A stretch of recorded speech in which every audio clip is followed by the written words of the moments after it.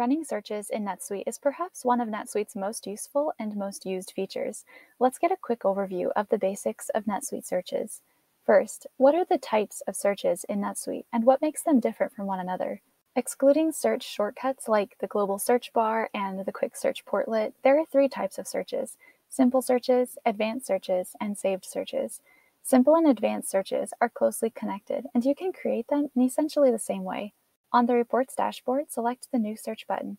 Then choose the record type that you will run the search on, like Employee or Cases. Once you have selected a record type, NetSuite will open up a simple search page with all the fields that are on your selected record type, allowing you to choose exactly what you want to search for across that record type. From the simple search page, then, you can switch to an advanced search by selecting the Use Advanced Search checkbox.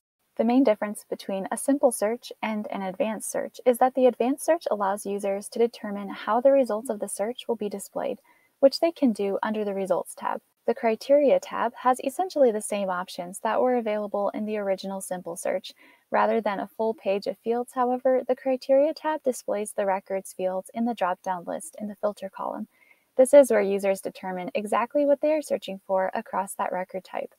Saved searches take searching for information in NetSuite to the next level. Not only do they allow users to run the same search over and over again, but they also provide greater customization options for viewing and managing search results than either the simple or advanced searches do. On either the simple search page or the advanced search page, you have a Create Saved Search button.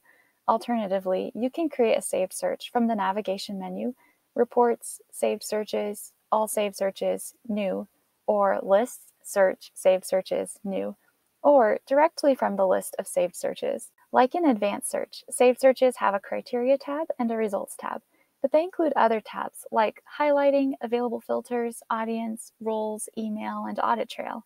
These additional options make sense given the nature of a saved search.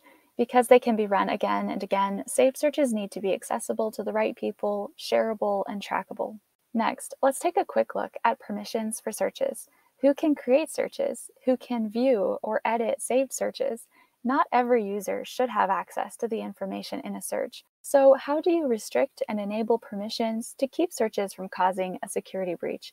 The answer is found on the role record, rather than setting search permissions for individual employees, which would be quite tedious in a large company. Administrators set these permissions for roles. This means that an employee with multiple roles could have differing search permissions depending on which role he is logged in with.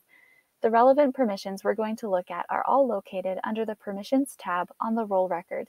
First, administrators need to determine a role's access level to specific records and transactions. Searches are run on records and transactions, so the basic rule of thumb is that roles which have access to the underlying record or transaction in a search would also be able to view the search. Administrators have several options for setting a user's access level to any given record or transaction. The main access levels are Create, View, Edit, and Full. Each of these levels is fairly self explanatory, but how does having access to these records and transactions affect a user's experience with searches? That's where several other key permissions come into play. Under the List section of the Permission subtab, key search-related permissions include Perform Search, Publish Search, Persist Search, and Export Lists. Another search-related permission is Find Transactions, located under the Transaction section.